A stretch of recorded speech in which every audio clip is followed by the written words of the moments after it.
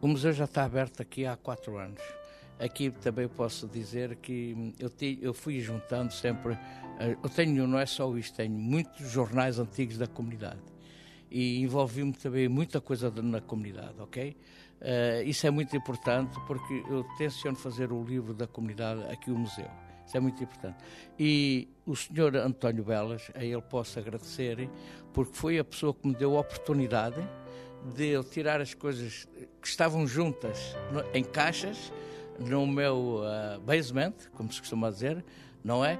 E que estavam fechadas. E ele deu-me a oportunidade de expor aqui e de eu poder trabalhar livremente e criar aqui um museu para, para toda a comunidade. Portanto, o nosso museu é das duas maneiras. É para as escolas, para os miúdos visitarem, saberem o que é que precisam. Esse é o ponto mais importante. Ao mesmo tempo, mostrar que nós estamos nas cinco partes do mundo. Outra, porque temos aqui de tudo o que nós possamos, eh, até onde nós fomos, fomos lá. Eh, quanto mais mar havia, mais a gente podia ir, não é? Que é o que se costuma dizer. Ah, portanto, aqui é para também se formarem um conhecimento que somos à volta dos 250 milhões de portugueses a falar a língua portuguesa. E aqui podemos falar de Angola, Moçambique, Cabo Verde, Guiné, Santo Tomé e Príncipe, Goa, Demão, Japão, Macau, é, sei lá, Brasil. Ahm, aqui do outro lado da rua também há uma das pessoas que faz parte da nossa da nossa direção, é onde estamos lá duas exposições muito grandes. E uma delas é do Brasil. Ainda não foi estreada. Eh, na oportunidade, na, na altura que a gente vê que é preciso, porque nós estamos eh, também construindo uma caravela. E essa caravela tem à volta de 3 metros. E é com ela que eu vou depois mostrar o que fomos nós eh, a toda a parte do mundo, por uma estrada que muita gente não se apercebe. Porque o Tejo é uma estrada que foi para toda a parte do mundo. Dali fomos a toda a parte do mundo. Portanto, temos que dar a conhecer à, à geração daqui que nós não somos imigrantes. Isso é o ponto principal.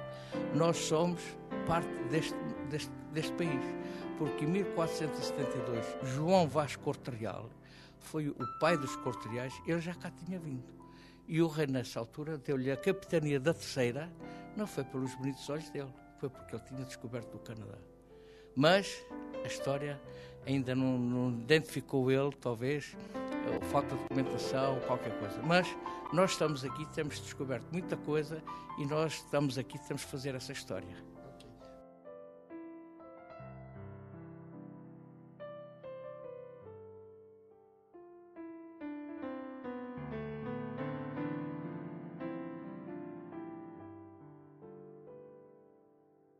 Uh, sim, mas uh, quer dizer, sim, a saudade tive sempre, desde o momento que comecei aqui a pisar, eu lembrei-me sempre, porque eu também estive no Norte, na, nas Sete Ilhas, no Norte, e lá estive a trabalhar, portanto a saudade está sempre com a gente.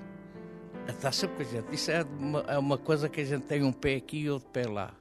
Isso não, não há dúvida, quando a gente ama, ama mesmo com, o nosso país e seja onde estiver, a gente temos que fazer pela vida e então sabemos aquilo que queremos. Isso é muito importante para a, nossa identificação. E os portugueses hoje, em toda a parte do mundo, estamos. Isto aqui, eu vou lhe dizer, o senhor vê ali aquela coleção, por acaso lhe está a seguida, porque isto, volta e meia, é modificado, que é os reis. E aquela coleção foi toda feita por mim. É, que foi de, um, de uns meus coleções que havia calendários de algebeira e eu fiz a ampliação e depois retoquei aquilo tudo porque eu gostava que os reis também estivessem aqui, como estou a fazer agora, sobre os primeiros presidentes também uh, de Portugal. Também estou a fazer isso. E ao mesmo tempo, estes quadros que estão aqui sobre os navegadores, um, foi tu, tudo o que está aqui foi ideias minhas com um pintor que já faleceu.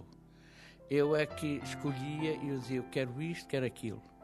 Eu é que ia com ele também desenhar, ele é que pintava, mas eu montava as telas e depois ia arranjar os quadros. Portanto, tudo o que está aqui é feito tudo com ofertas de pessoas, e minhas também, não é? Eu quero o mais, mas isto está aqui, foi tudo preparado por mim. Até este busto que está aqui foi um sujeito, quando foi a inauguração, que também não tem nada a ver, trabalha em obras, mas ele é, tem uma mão como o senhor vê, este trabalho está aqui do Infante.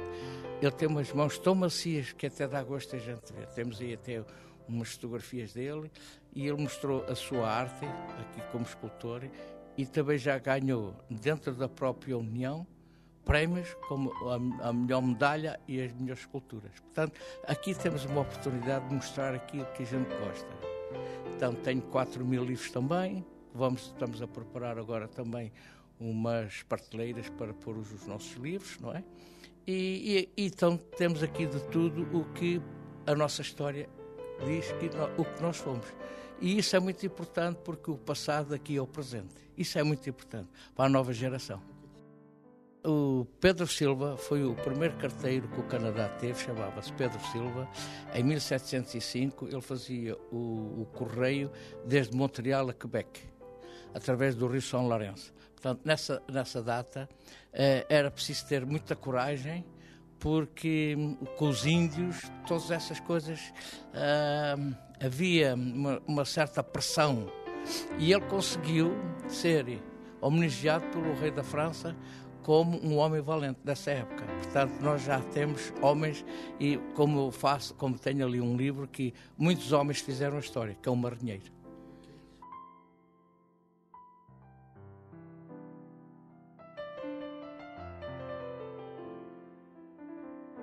O museu hoje já pode-se dizer que está aqui desde segunda-feira até sexta-feira. Está aberto desde as 9 horas da manhã até às 4 da tarde em qualquer altura podem vir, porque nós temos aqui uma pessoa que é a Marta, que é professora também de crianças também, uh, sabe dar qualquer explicação sobre o que está dentro daqui do nosso museu e está cá todo dia a trabalhar para nós. Portanto, o museu está aberto à comunidade a qualquer hora do dia.